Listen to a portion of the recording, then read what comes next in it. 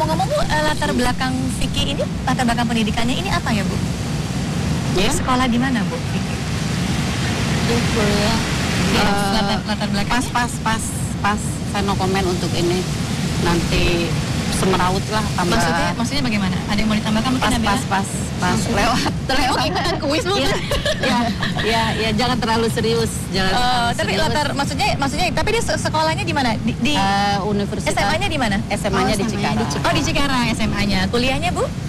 kuliahnya di sini Oh di Jakarta. di Jakarta Di Jakarta. Kalau boleh tahu di mana Bu kuliahnya? Jatiwaringin ya Jatiwaringin, sudah ya ya. sudah ya Enggak karena nih memang saya nanti kasihan orang yang yang mengenal dia ditanya-tanya wartawan apa gitu loh cuma Oh itu gitu. saja Tapi yang pasti Vicky ini memang eh, kuliah begitu ya Iya. di Jakarta begitu ya.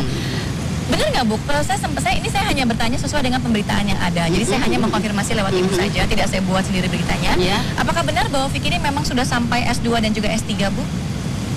belum Belum ya.